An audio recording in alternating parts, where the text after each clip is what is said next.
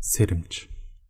Бурхны үрс энэ мэтчлэн бод сэтгэлийг үүсгэсэн цагаас бодонгүй самууралд үл автан бод суртлыг хичээн сахив.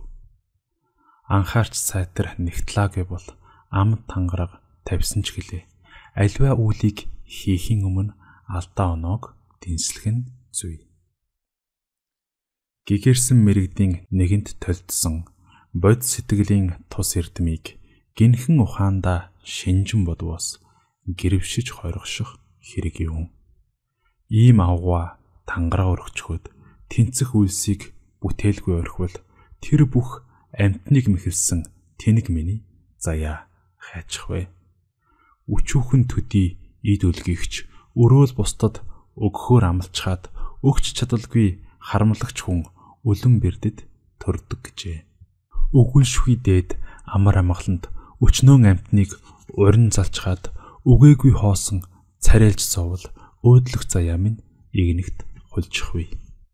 Бод сэтгэлийн тангаргаас нэтсэн ч нирван хутгийг олно гэвэл сэтгэлд багтамгүй тэр тохиолыг сэхэрсэн бурхад л тайлах буй за. Бод сад хүн тангаргаа умартах нь босшгүй алдсан хамгийн хүнд нь хүй орчлонд буян үйлдэх хүч тамира гээсэн хэрэг. Бод садын буйнд хин нэгэн агшин зуур садаа хивээс авгуа үлсийн урсгал тасалсан алдас нүглийн төлөөс хязгааргүй. Нэгэн амтны жаргал бүснүүлэхэд тамийн үд нээгддэг бол нэлэнхүй орчтонгийн амгалан хутгийг таслах нүглийг хилээд явах вэ. Бод сэтгэлийн хүчин ихч алдас унлын хөнөөлөх орчлонд тэд суудл булаалдвал оргил эрдмийн бараа алсарна. Ийм учраас тангараа алдалгүй. Ирхэм үйлсээ бишрэнгүйе төрөв. Энэ мөчөөсөл хичээхгүй бол идэг идгээр дордох болов цай.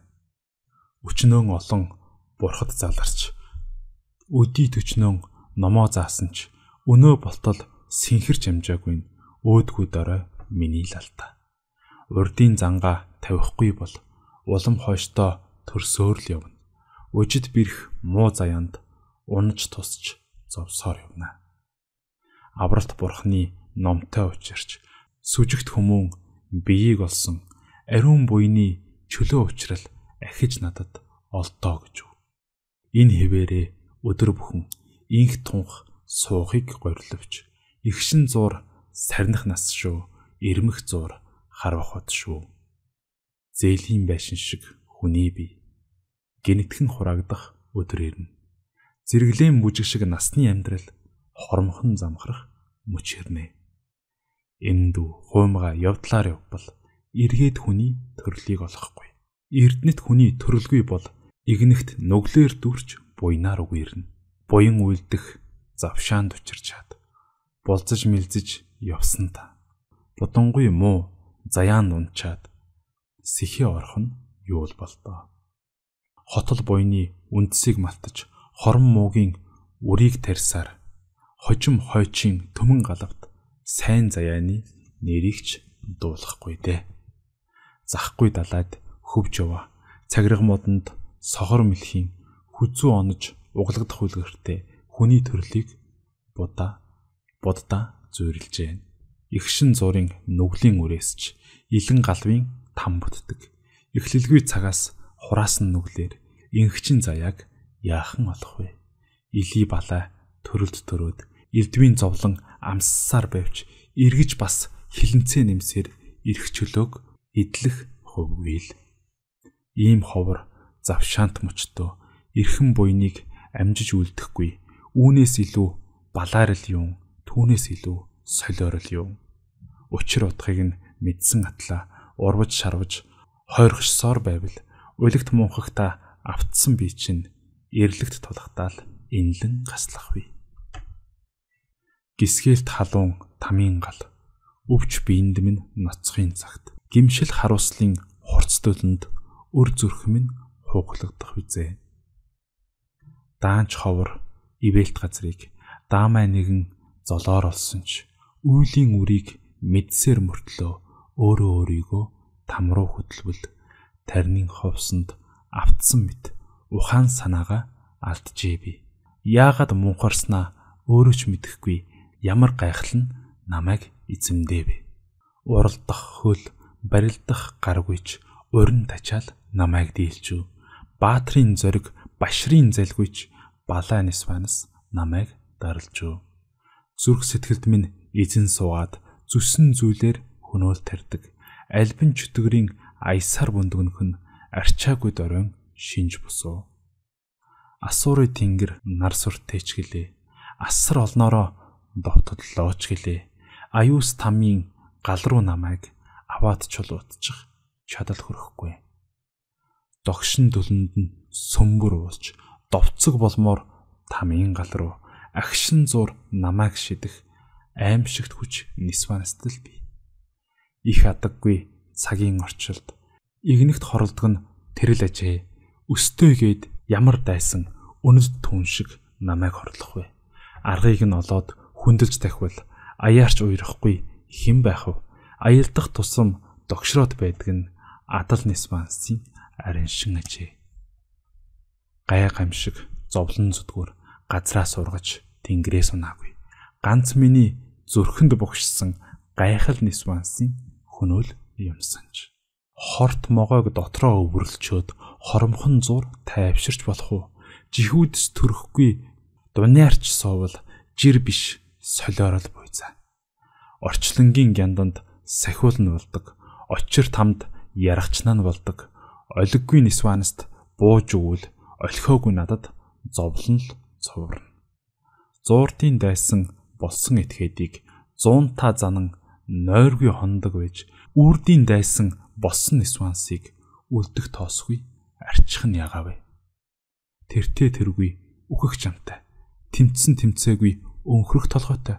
Амь насаа дэнчин тавьж алалдах тулаанд ордог үсттэй. Өөртөөгөө адил үеийн үртэй өнөөл нисвансын эрхэнд орсон өрөвдмөр амтныг өөчилж чадахгүй үш хонзон сандаг хэрнээ жинхэн дайсан болсон нисвансыг жигшин зэвүүцэж дарахын оронд өнөө маргаашийн зүдэг тоочин уюудж явах чинь юуных вүлээ. Учир утгагүй тулаан хийж бидээ олсон шарх сорвоо Баатар эрийн чимэг хуар шигээр бардамнан гайхуулж явдаг шүү.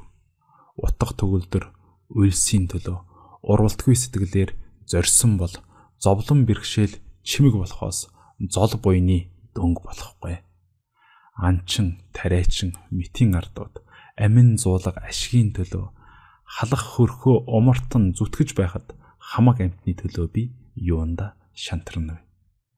10 зүгийн огторгуй чинээ амтэн даяарыг нисвансаас чөлөөлж ам тангараг өргөчгөөд өөрөө азар бузартаа утгалцаар явбал хэрэг мэдэхгүй хинээ өвчтөн хий дэми донгоссон болох учир Тийм учраас Нисвансаа дарахад хизээд би хичээн шамтсуу. Үдий болтол ижилсэж явсан өнөөдрөөс түүнийг өстнөөгүй. Өөртөө нь адил ийм авираар өөдгөө Нисвансыг дарахаас аргагүй. Хамаг биеийг минь төлсөн ч яах вэ? Хар толгойг минь тасцсан ч яах вэ? Харгас муу Нисвансын аяар бөмбөрч явха үүгээр эцэслэе. Гадаад дайсныг хөөж явуулбал газар орноо сэлгэж байгаад хүчээ сэлбэн эргэж довтлох бий. Хөөрхийн нисванаас тэгж чадахгүй. Бэлгийн нүдээр ажсан цагт илбийн зэрэглээ аяндаа замхарна. Хаашаа зүхтаж бөгөх вэ тэр? Хаанаас эргэж довтлох вэ тэр? Сэтгэлийн орноос зайлсан дүнд сэлбэрч тэнхрэх газар үгүй. Бэлэг ухаан доройдол би биегүй нисванаст дарлуулж явжээ. Гайхал нисвансыг ажин шинжвэс гадаад үзэгдэлд ч алга дотоод сэрхүйд ч алга гадна дотны завсарт ч алга хаач орших оронгүй тэр хаанаас ирээд амтныг хорлоно вэ хий үзэгдэл төдий түнээс хилмигдэн цочих учир юм. Мөн чанарыг нь таних сэхээгүй нүдэн балай явсандаа би тамийн зовлон идэлдэг юмсанжээ танин мэдхүйн сэхийг л шүтсв. санан санан ухаарахын ялдамд сахил суртлыг сайтар мөрдөлтэй эмчийн зөвлөгөөг зөрчсөн өвчтөн им уулаач идгэн гэж үү.